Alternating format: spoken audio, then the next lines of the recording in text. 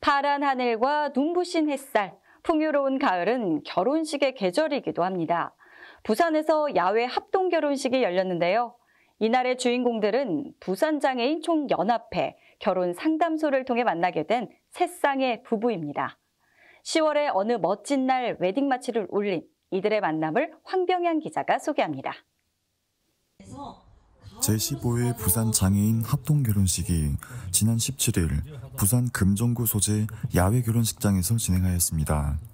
본 결혼식은 부산 장애인 총연합회 결혼 상담소를 통해 처녀 총각들이 만나 총 3쌍의 부부가 결혼식을 올리게 되었습니다.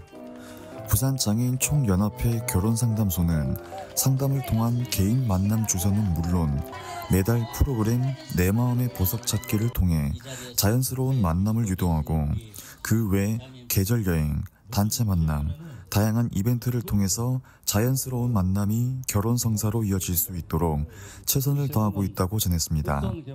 한편 부산 장애인 총연합회 결혼상담소 박흠경 후원회장은 장애인들의 합동 결혼식을 지원하면서 더 많은 행복을 느끼며 장애인 부부 사이에 자녀들을 많이 낳고 행복한 결혼 생활이 이어지길 바란다고 전했습니다.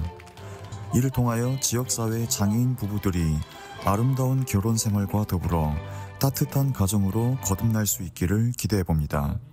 복지TV 뉴스 황병영입니다.